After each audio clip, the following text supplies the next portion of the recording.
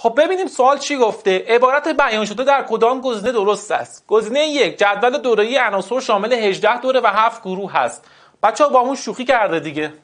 این اشتباهه. خب دو خواص فیزیکی شبه فلزها بیشتر. به فلزها شبیه بوده. خب اینو ما قبلا گفتیم که بچه خواص فیزیکی شبیه چیه؟ توی شبه فلزها شبیه فلز هاست.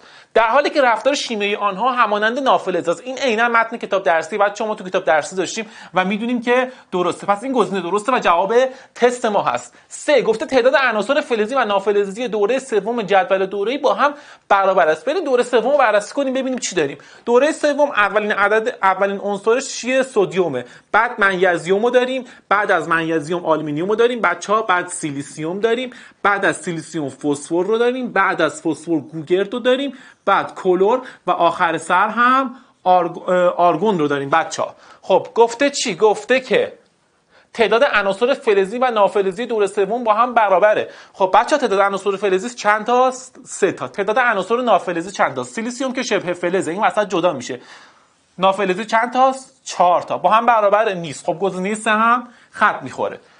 گزینه 4 گفته همه پنج عنصر نخست جد... گروه 14 جدول دوره رسانه‌ای گرمایی دارند بچه گروه 14 هم با کربن شروع می‌شد بعد دو تا شبه فلز بود بعد دو تا فلز بود. درسته؟ خب کربن ما می‌دونیم که رسانه الکتریک داره اما رسانه گرمایی نداره. پس این گزینه رو نقض می‌کنه و گزینه 4 هم اشتباهه و جواب تست ما گزینه دو میشه بچه ها